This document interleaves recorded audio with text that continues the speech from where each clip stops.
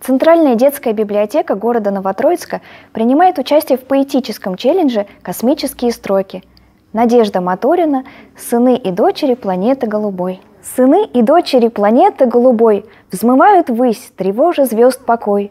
Налажен путь в межзвездные пространства Для спутников, ракет, научных станций. Шагает эра космоса вперед. Ракеты продолжают свой полет, Стартуя с Байконура каждый год.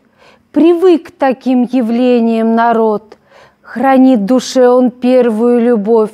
Пусть тысячи взлетают к звездам вновь, но первым был Гагарин, он был свой, родной, с улыбкой детской озорной. Когда День космонавтики справляют, любимца своего все вспоминают. Но в этот день поздравим мы и тех, кто славу создает стране, успех, всех, кто с Земли за пультом наблюдает, как космонавты подвиг совершают. И тех, кто отправляет корабли стартующие с матушки Земли, всех, кто с космической наукой навек своей работой связан, народ своей любовью им обязан.